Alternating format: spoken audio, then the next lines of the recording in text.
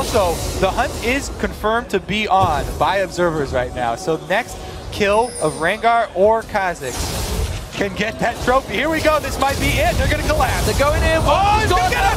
Get it! Get it! It! He gets himself the hot quest, and that may actually trigger because Gorilla went down at the same time. Ggoong's getting forced away. Guardian Angel is already gone